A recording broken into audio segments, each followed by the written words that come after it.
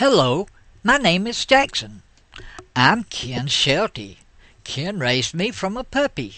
He is so good to me. He is a great guy.